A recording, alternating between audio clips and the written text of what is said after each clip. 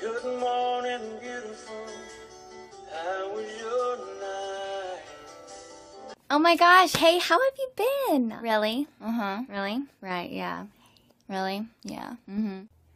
Oh my god, what does that smell? Beyonce.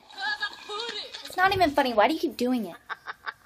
Attention, fellow females. Cussing is unladylike. Instead, use classy words. A poopsicle. What the fart? Oh, doo doo. No, baby, you pick. You know I'm fine with anything. No, no. Ew. Seriously? You don't even know me, do you?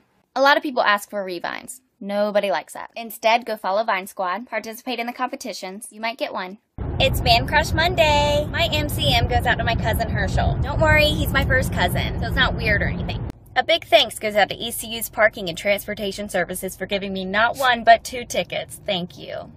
Hey now, it's Chickpea. Happy Thursday. It's like sweatpants, hair tied, chilling with no makeup on. That's when you're the prettiest. I hope that you don't take it wrong.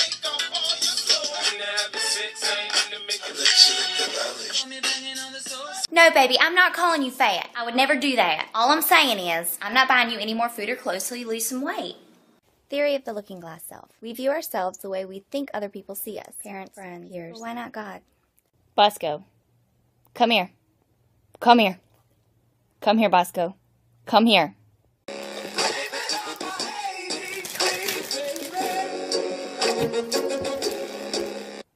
Isn't that funny? She's got all them bags, spends all that money. She doesn't tithe. I watch her. I have a confession. Sometimes when I smile too big, my one crooked tooth pops out. Yay!